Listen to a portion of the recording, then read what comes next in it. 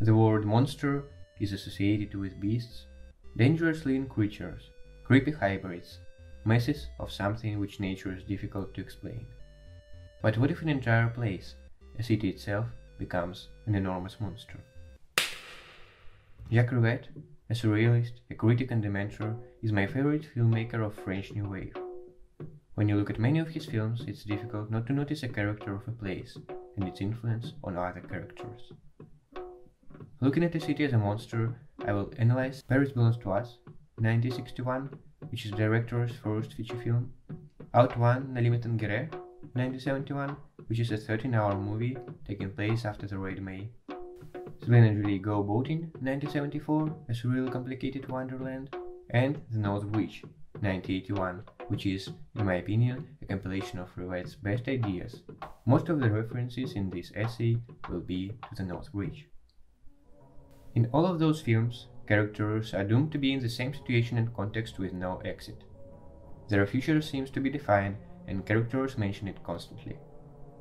The surveillance and conspiracy seems to be everywhere, though in many cases with little proof. To understand how the place, the Paris of Rivette, may be monstrous, let's follow seven principles of monster culture formulated by Jeffrey Jerome Cohen in the book Monster Theory. We'll be also sometimes looking at a book of Stephen Asma on monsters and the natural history of our worst fears. 1. The monster body is a cultural body.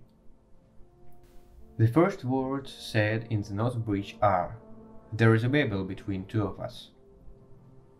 Those are the words of a monster hunter, a girl Baptiste, who follows the other character, Marie, everywhere, trying to save her from an unknown conspiracy, which may or may not be true.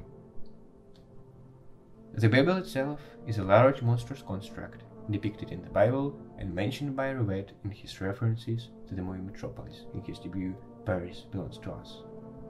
Babel was an ancient metropolis in which an enormous group of people tried to construct a Babel tower.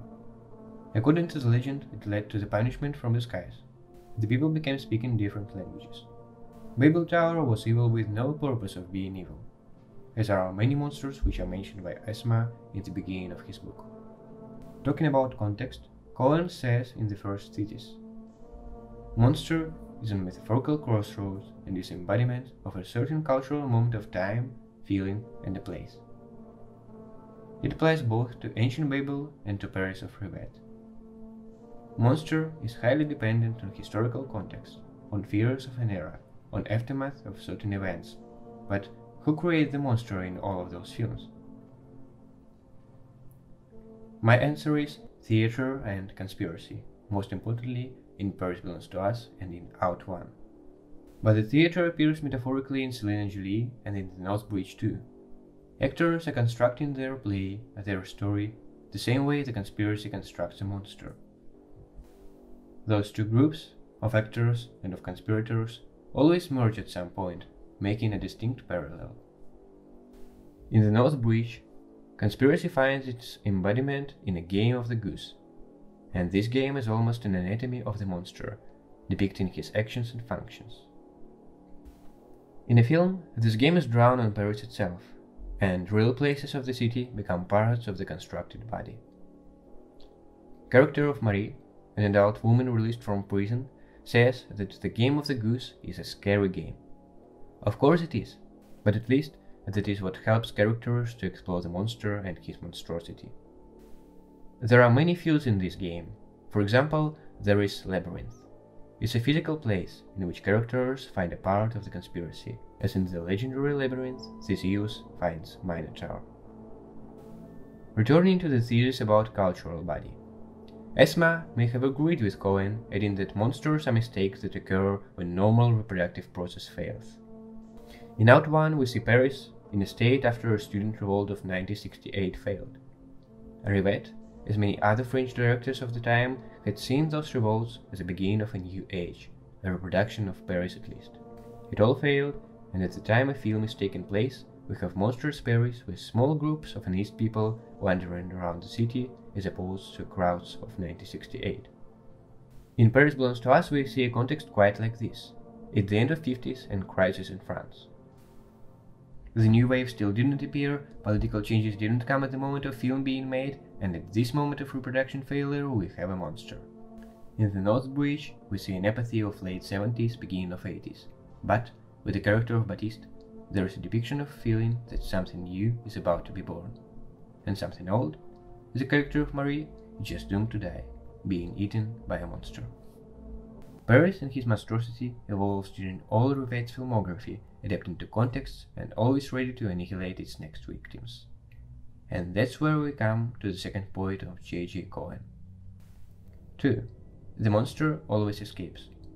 As we see, the monster is reborn in all of epochs, end of 50s, end of 60s, end of 70s, and that's exactly what Cohen mentions in his second point. Characters may think they are finished with the monster, but this giant mess will, slightly adapted, return in the next film. Monster has his agents, who are his hands, eyes, or ears.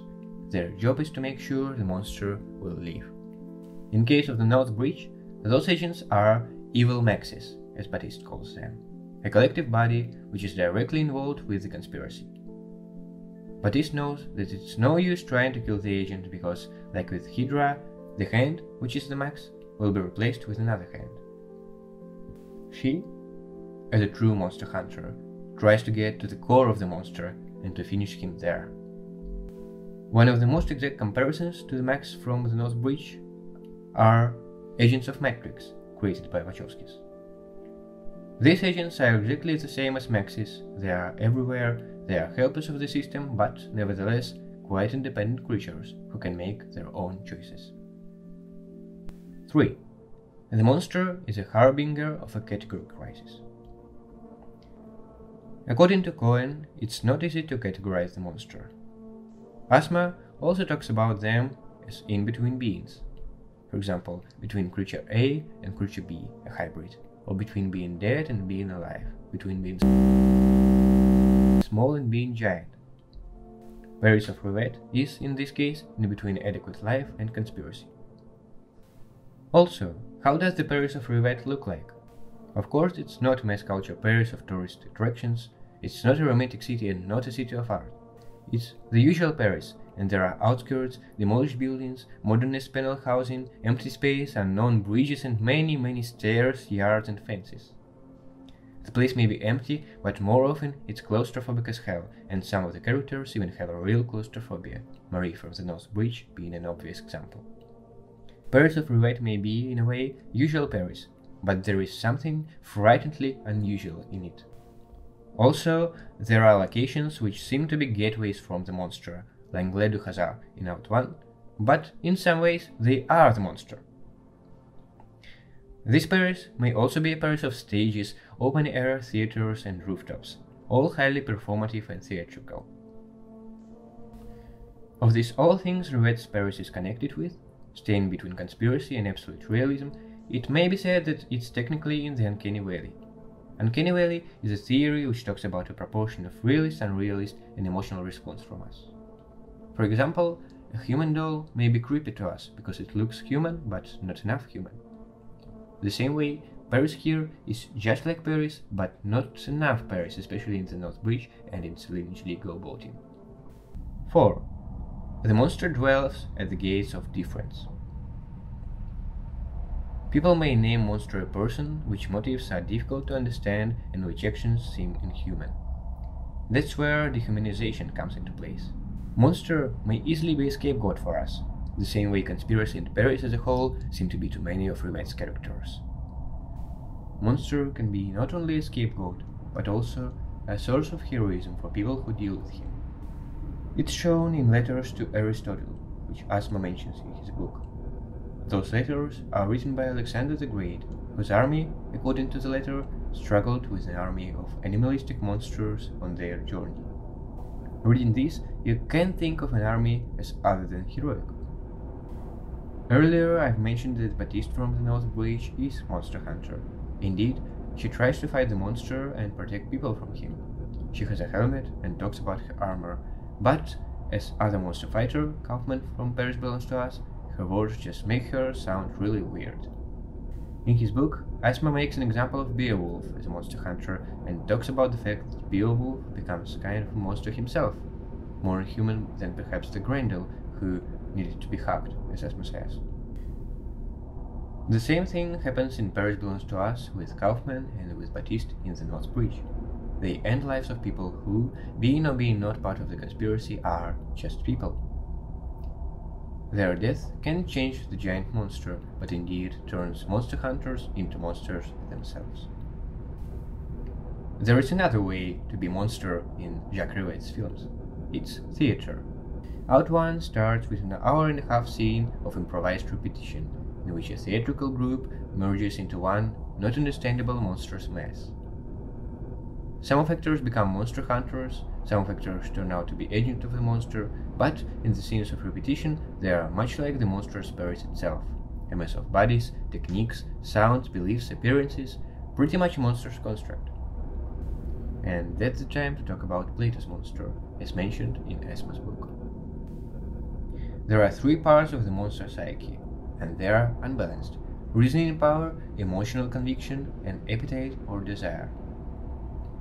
Reasoning power is described as a human, emotional conviction as a lion, and appetite as a giant mass of hands, eyes, and teeth.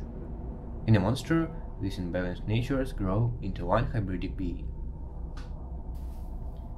We can easily see how reasoning power is the conspiracy, emotional conviction is theater, and the mess is the body of the city. Combined, they merge into one chaotic monster which neither conspiracy, theater, or a city structure can take a full control of. Although this is prominent in all films this essay is about, in the North Bridge we see many lions themselves. Baptiste rides around them in different parts of the city. Lions, lions and lions, kinda an animalistic monster itself, a symbol of both emotion and power, a clear allusion to Battleship Potemkin's lions. In Battleship Potemkin, lions were also a part of Hybrid, at that time, not a city, but a whole empire. There were a cross, a knife, and a lion, who were in control of the empire and with whom the sailors were struggling with. The same platonic monster, only 50 years earlier. Let's return to the letter to Aristotle, where the army of Alexander was fighting with animalistic monsters. An important factor is where this battle took place, on the way to India to an unknown land.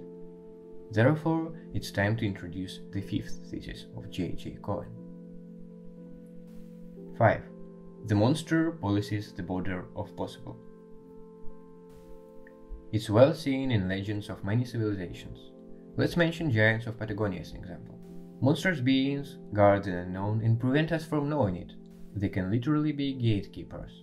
In Rivette's films, the monster hides the unknown in its structure and prevents characters from knowing it. That's why Baptiste and Marie play the game in the North Bridge. That's why Colin from Out One tries to go through difficult algorithms to know more about the conspiracy. They all are, if not fighting with the monster, arguing with him. In the end, those characters come to a location which is crucial to the monster. It's linked with him, but it's not necessarily a part of him. In Celine and Julie Go Boating, it's a mysterious house, which characters find quite early in the movie. Time in this house seems to be in a loop, hiding the conspiracy inside it. In Out One, it's a house in Obade, which is, geographically speaking, not inside Paris, but feels to be surrounded by it.